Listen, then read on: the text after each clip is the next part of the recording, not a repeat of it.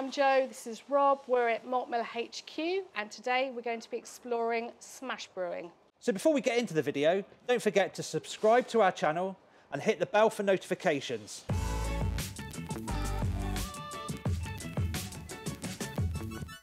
Okay, Jo, so we quite often see um, smash brewing uh, talked about. What, what actually is it?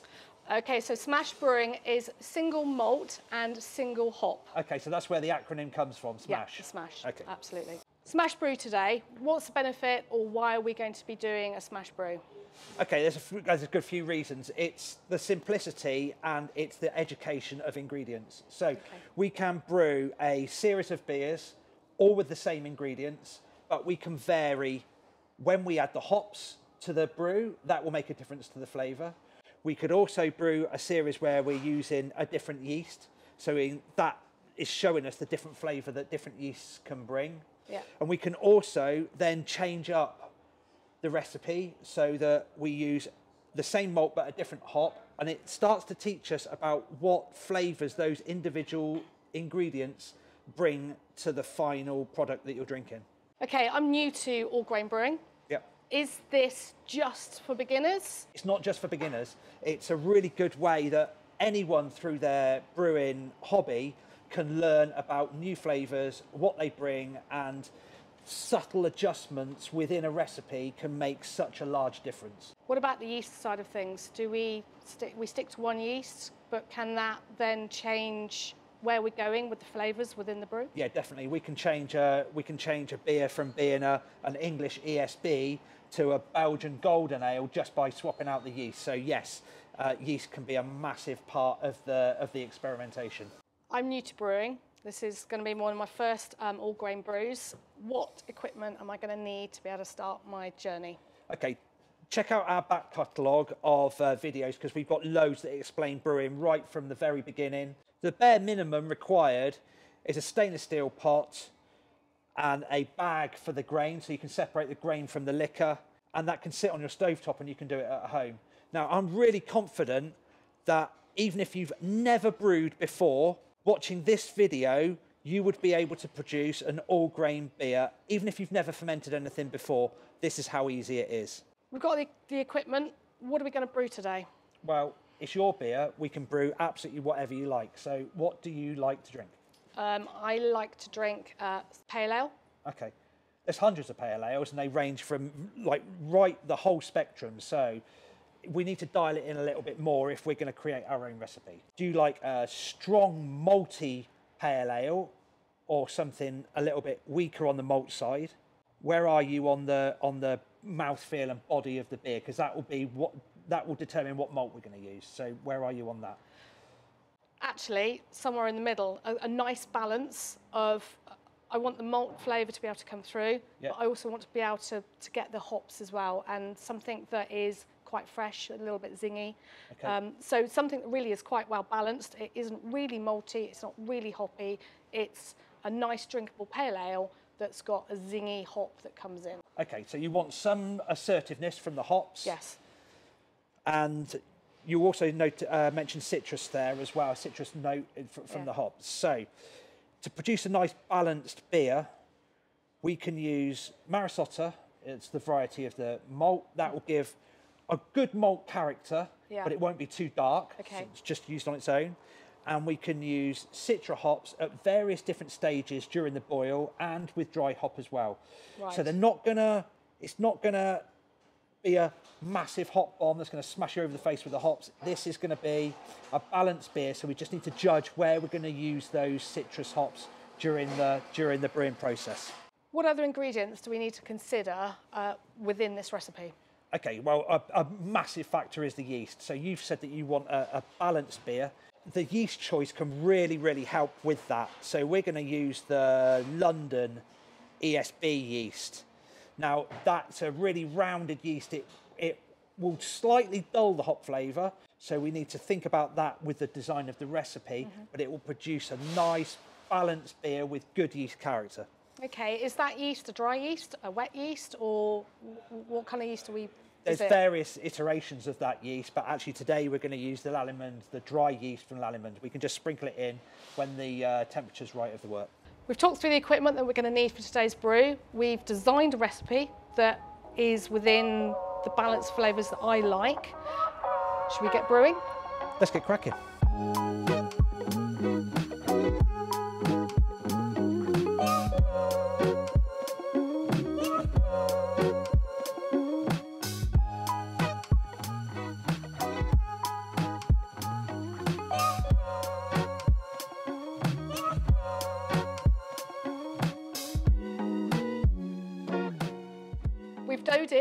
And we've set the pump to circulate the mash. Rob, can you talk us through the best recipe that we're doing here, please? Sure. We've got five kilos of Warminster Maris Otter. Yeah. And in total, we're going to be using 100 grams of Citra hops. We're going to be using them at various stages during the boil and indeed for dry hop as well. There's various areas to be considered when you're designing a recipe. Now, some of those are what alcohol percentage you're going to want to end up with in the beer. Okay. So that relates to how much malt you're using Right. within the brew. We need to know how bitter we would like it, and we'd like to know the colour. So the colour is measured in what we call EBC, that's a colour rating, and the bitterness is IBUs, that's International Bittering Unit. So that tells us how bitter the beer is going to be. So with this beer, we are aiming for about 30 IBUs Right. and we're going for about 8 EBC on the colour. So it's going to be on the slightly darker side of a, of a pale ale. We're also going to be aiming for a beer that finishes, it gives us about 4.3% alcohol. So that's quite a balanced recipe. It's going to give us a beer where we can taste everything that's going on, the malt and the hops. Um, the hops will be relatively assertive, but they're not going to take over from the bready maltiness of, of the beer. Been mashing for an hour. Yeah. We've been recirculating during that time as well. The mash period is now at an end, so what we need to do is we need to get the bag of grain out of here and put it into this trug. Okay. Because the grain's, grain's going to go, and what's left behind we're going to boil with the hops. Right. No. Let's get cracking. Okay. Let's take that off there. Brilliant. Right, so this is heavy. It's not super heavy, but it's heavy enough. So if I grab it, I'm gonna want to just let it drain for a second. I'm just gonna pop that into the trug. I'm gonna leave this here. It's gonna take a little while for this, the remaining wort in here, to come up to the boil. So whilst that's coming up to the boil, this bag's going to carry on draining. So just before it comes up to the boil, I will empty the contents of the trug into the boil kettle.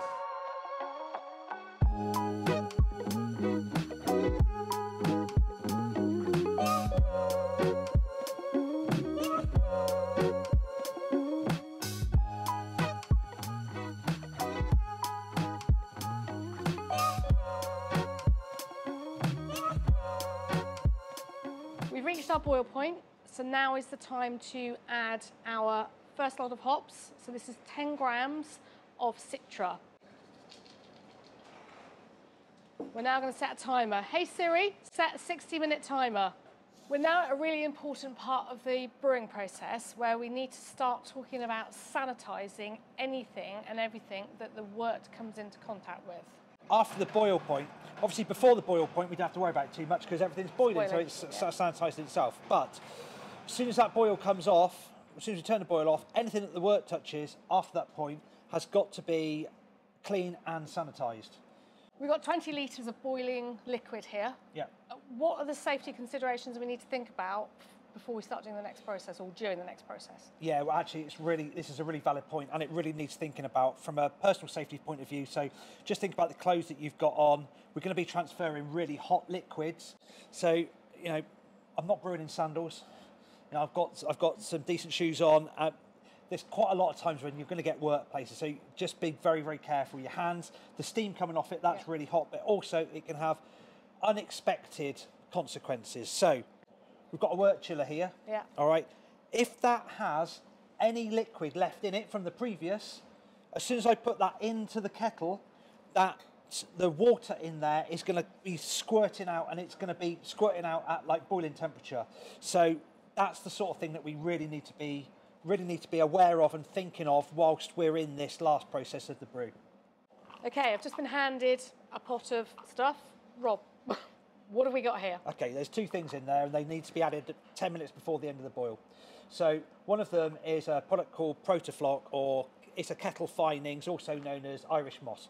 So what that does is it helps clear the beer. It makes the smaller particles of protein grab together so they become bigger particles, which helps them drop to the bottom of the kettle. Right, and as soon as we put that in, we will be able to see the proteins grabbing grabbing together. Okay. The other item that's in there is Yeah. yeast nutrient. The wort contains nutrients for the yeast to chew and grow. We want to enhance that. We want to give the yeast the best opportunity to convert our wort into alcohol and CO2. Um, to do that, let's give it some nutrient to give it the best chance possible of doing that in a really successful way. Okay, so we're going to put this in now? Yeah, we're going to put that in now. So let's get our immersion chiller in. Now remember to point it away from ourselves. So if anything does come out, it's not going to get us. That just sits in there like that, so it's nicely sanitising. We're also going to turn our pump on to sanitise the pump. So here we go. We've chilled the wort down to about 20 degrees and we are now ready to drop it into our fermentation bucket. What do we need to consider here, Rob? Okay, well, as we said previously, we need to definitely make sure that our fermenter is brilliantly clean and sanitised, including the tap. So the tap's been taken apart, cleaned, sanitised, put back in. It's the only stage during the brewing process where we want to have oxygen in the wort because the yeast needs oxygen within the wort to do its job. So we're going to drop it at a height and that will help oxygenate the wort as it falls into the fermenter. We've got 20 litres of our smash pale ale in the fermenter. What did we learn along the way? How did we think we did? I think we did really well, actually. Um, You got wet feet at one point. mm, only a little bit, but that was your fault. Yeah, okay, it was, yeah. So, yeah. um, yeah, no, I, it's been really good. It's been a great experience from my perspective. Um, learned about the smash brew, single malt, single hops. We've incorporated some some good process. I've learned a lot about how we go about it, getting things up to boiling point, the sanitisation of products as we go through the whole process. Um, and we've now got it in our fermenting bucket, ready to have yeast added. Yeah, for sure. Um, just one thing I want to go back to there. So I did make a mistake in this brew, actually, which made it a little bit difficult for us. So Do you want to talk about your mistake? I can do. I left the hop filter on. So one thing that I've always said is if you're going to use pellet hops, don't use a hop filter because it's going to get blocked up. So what did you do? I left the hop filter in, Uh-uh. and guess what? It blocked. It blocked, yeah. So the transfer from the kettle to the fermenter really took a little bit longer than it should have done. And it would have been much easier if we hadn't used hop filter at all, just relied on the whirlpool and done that. So that's my lesson that I've learned today. Again, as we've said, every day is a school day. So just getting back to the fermentation of this, Yep. we are going to ferment, ferment in this bucket. Yep. We're going to put a heat band around it and we're going to put it on a heat pad as well because it's quite uh, cold in here. Uh, freezing. Um, so the, hopefully this is going to ferment at about 20 degrees, 10 days, two weeks, and then we'll be packaging. So we've had a really successful brew, and we've actually overshot our numbers that we were aiming for. So we were aiming for a, a starting gravity of 1043. We've actually ended up with a starting gravity of 1054. Now that gives us two choices. We can either use the calculator that's on our website uh, to know how much to dilute. So we can add some bottled water into the wort and dilute it back down so that it's the starting gravity is correct. Or we can say not worried about it actually, and we're going to drink it a little bit stronger than it was. Not, not which is such a bad thing. Which yeah. is actually what we're going to do. Yeah. yeah, absolutely. I hope you've learned a lot today about doing a smash brew. I certainly have learned a huge amount about the brewing process, the cleaning process, um, and everything that's gone into it. We've had a lot of fun. Hope you're going to enjoy doing a brew similar to us at some point using the same method. We've got loads of content on uh, YouTube, on our YouTube channel, and more content being delivered the whole time. So if you like it, please subscribe. And you can also follow us on Instagram, Facebook, and Twitter.